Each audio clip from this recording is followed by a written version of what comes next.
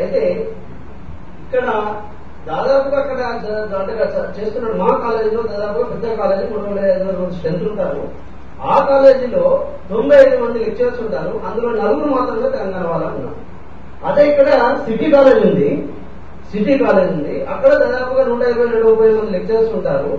అందులో నూట దాదాపు వంద నుంచి నూట పది మంది ఆంధ్ర వాళ్ళే ఉన్నారు. మరి వీళ్ళంతా ఎలా వచ్చారు? మేమందరూ అక్కడ తెలంగాణలో ఎందుకు లేకుండా పోయారు? అని చెప్పేసి అక్కడ మామూలుగా చర్చ జరుగుతున్నప్పుడు వాళ్ళంతా మేమంతా చర్చ జరుగుతూ ఉంటాం. వీళ్ళంతా ఎందుకు వచ్చారు? ఎలా వచ్చారు? డిప్రెషన్ విన్నా లేకపోతే రాంగ్ ఓపెన్ లేకపోతే నాన్ లోకల్ పెట్టుకొని వచ్చారా? ఎలా వచ్చారు? ఇదంతా చర్చల చర్చల ద్వారా నాకు కొంచెం అర్థమైంది ఇక్కడ. ఎలా ఎలా వచ్చారనే సంగతి తెలిసిపోయింది. ఇంకోటి ఏంటంటే మా రిక్రూట్మెంట్ కూడా. మా రిక్రూట్మెంట్ అయ్యేటప్పుడు కూడా మా పోస్ట్ స్టేట్ పోస్ట్ అని చెప్పారు. అలాంటి మాత్రం అలర్ట్ చేశారు. ఇది చాలా అన్యాయం చెప్పేసి మాకు మీ మా- మాకు ఆ స్టేట్ పోస్ట్ లాగానే కన్సల్ట్ చేసి మమ్మల్ని ట్రాన్స్ఫర్ చేయండి ఇక్కడ తీసుకోవాలని చెప్పేసి మేము చూడడం జరిగింది.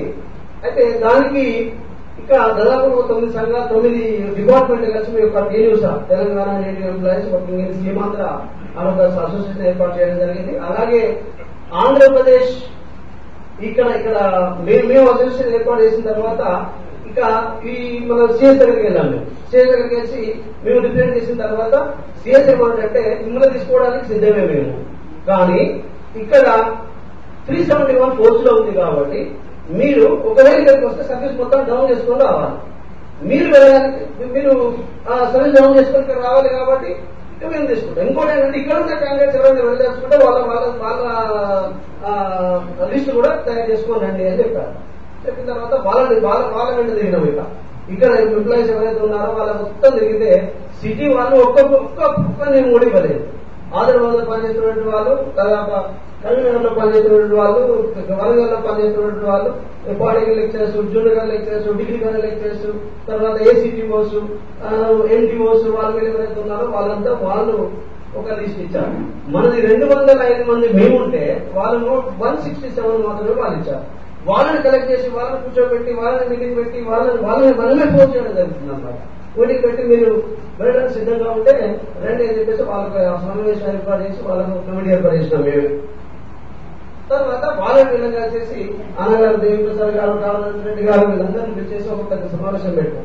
సమావేశంలో వాళ్ళు హ్యాపీగా ఫీల్ అయ్యారు. వాళ్ళు వెళ్ళడానికి సిద్ధంగా ఉన్నారు వీళ్ళు వెళ్ళడానికి సిద్ధంగా ఉన్నారు. ఇంకేంటి ప్రాబ్లం వాళ్ళు వీళ్ళు సిద్ధంగా ఉన్నారు కదా ప్రాబ్లం ఏంటి అన్నప్పుడు మన తెలంగాణ గవర్నమెంట్ ఒక సర్కులర్ ఇండియన్ సర్కులర్ ఒకటే. ఇండియన్ సర్కులర్ జారీ చేసింది ఏంటంటే వీళ్ళు అక్కడ అక్కడ వాళ్ళు చాలా మంది ఇక్కడికి దూరాలు ట్రాన్స్ఫర్ చేయడానికి సిద్ధంగా ఉన్నారు.